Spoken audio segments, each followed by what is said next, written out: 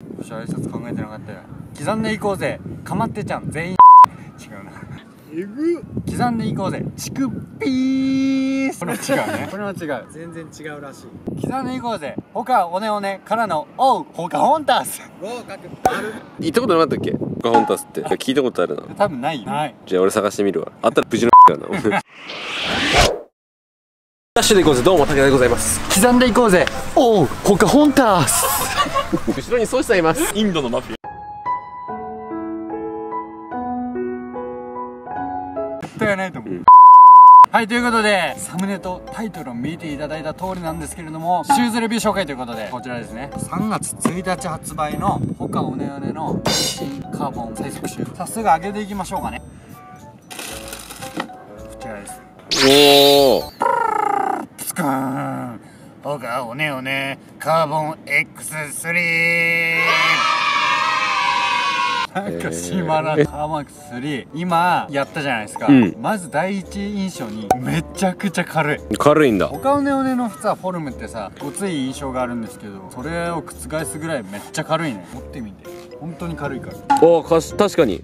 軽い。めっちゃ軽く、うん。カーボン X3 ということで X2 があったと思うんですけどあのそちらの方は僕履いてないんで分かんないんで忘れてください。教えてくださいって。2との違いどこが変わったかっていうとこのアッパーの部分が変わったみたいでベイパーからベイパーフライ2が出た時のニットになったみたいな。ああなるほどね。あの感じと似てるんじゃないでしょうか。ニットでなんだろう伝わるかな？そうだね。伸縮性あって。伸縮性がすごい増して足にひひっつく感覚なんじゃないかというところですね。カーボン X 初めて触ったんですけどカーボンの反発もそうなんですけどソールの素材がすごい反発するなと。あ触って。触って。おお他をねののロケット X あったじゃない。ロケット X あの青いやつか。あれも一応さ他の中ではスピードレーシングシューズってこう言われてたと思うんですけどあれなんかよりも全然反発するかなってこんな感じ本当に当てやがったわお前本当に。俺らカーボン X シリーズ履くの初めてなんでちょっと履いてみよう。履いてシンプルな感想を。そうだね。まあ、短距離選手の周平が履くとさ、うん。独特のカーボンシューズの癖が他おねおねはない割といいのかなと思うので今回もどうなのかちょっと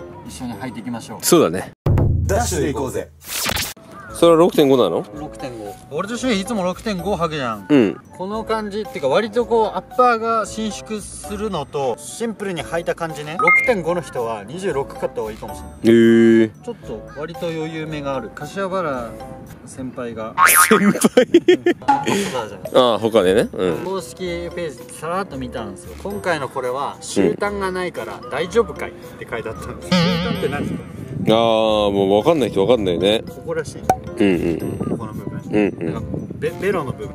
今回大丈夫かいって思ったけどこれを履いてみてフィット感がエグかったから大丈夫なんだなって思いました。ああなるほどね。まあでもその通りでニット特有のフィット感はあるね。吸い付く感じというか。ただ6.5なのに26がいいかなって感じ。なんかメーカーさんによってサイズ違うのはあるけどでもいつも他は26.5で合ってたんでしょ？分かってた。うーん。俺6が良かったかもしれない。なるほどね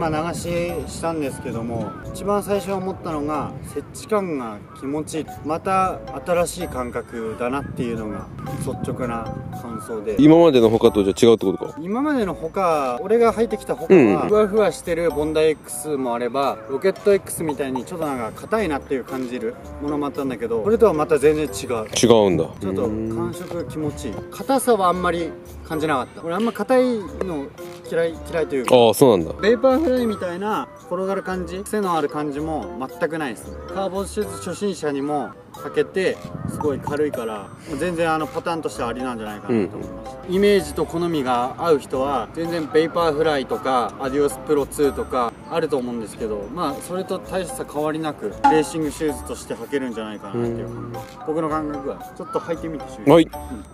ダッシュで行こうぜ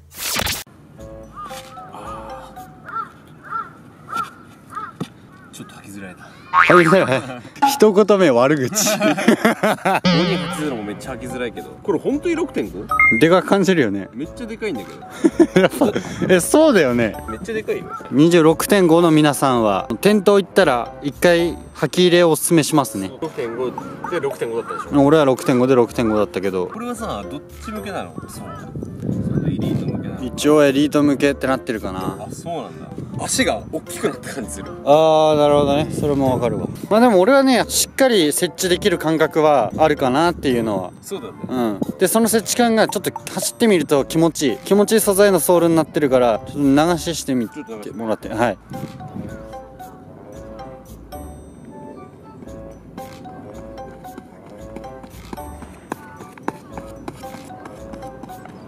うんうんうん。どうでしょうか？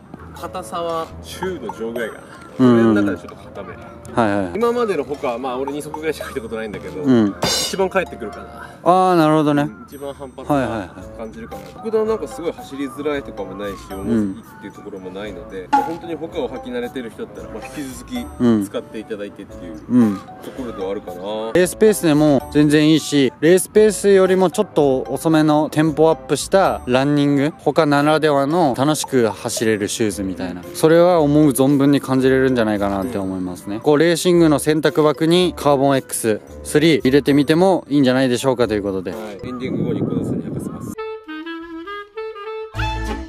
最後までご視聴ありがとうございました。それでは皆さんまたのご機会に。さようなら。